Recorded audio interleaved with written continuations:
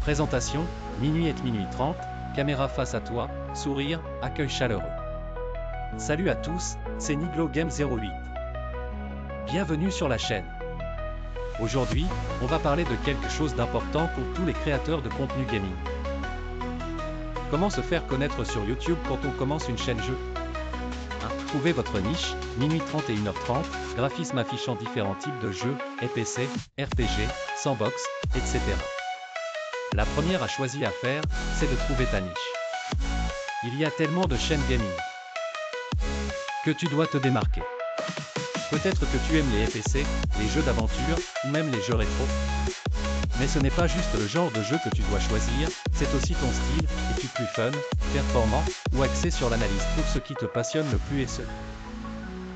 2. Créer du contenu de qualité, 1h30 et 14h30, plan de toi en train d'enregistrer avec ton setup, montrer des extraits de gameplay.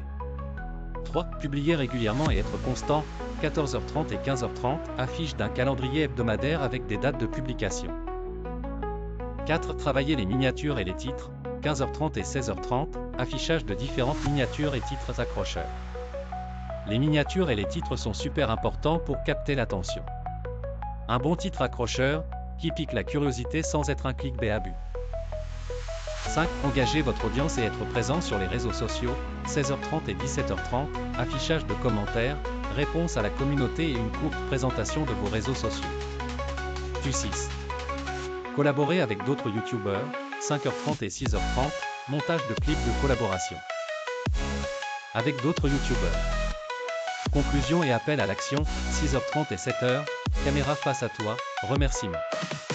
Voilà, c'était mes astuces pour se faire connaître sur YouTube quand sur une chaîne gaming. J'espère que ça t'a été utile. Si c'est le cas, lâche un pouce bleu.